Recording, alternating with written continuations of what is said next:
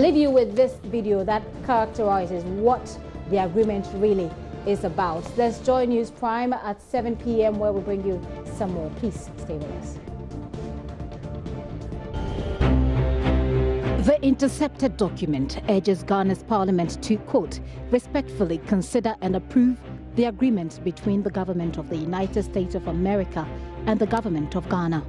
If that is approved, here are brief highlights of what the United States gets from Ghana.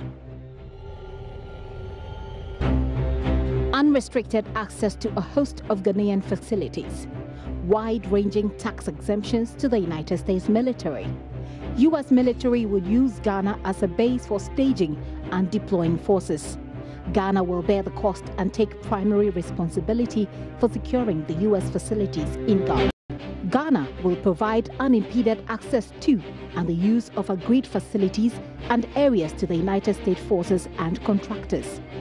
The agreement allows U.S. forces and their contractors to undertake construction activities and make alterations and improvements to agreed facilities and areas. The United States contractors shall not be liable to pay tax or similar charge access within Ghana in connection with this agreement.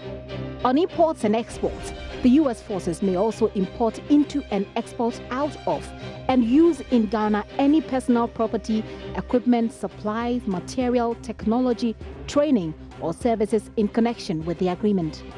Such importation, exportation, and use shall be exempt from any inspection, license, other restrictions, customs duty taxes, or any other charges within Ghana aircraft vehicles and vessels operated by or at the time exclusively for the United States forces may enter and exit and move freely within the territory and territorial waters of Ghana. In terms of radio spectrum, the United States forces can also use Ghana's radio spectrum free of charge and have unimpeded access. Ghana has to accept as valid without a driving test or fee driving licenses or permits issued by the appropriate U.S. authorities to military personnel as well as civilians and contractors. In a nutshell, the document says the USA wants Ghana as a base for staging and deploying forces. What does Ghana get in return? Facilitation of training, maintaining unit of readiness, continued exercise, and other military opportunities, the document says. It continues enhanced and fruitful security cooperation between Ghana and the U.S.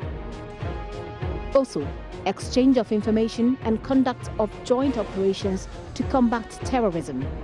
The Defense Minister, Dominic Nitiwul, says Ghana gets a $20 million package, even though that is not stated in the agreement cited by Joy News.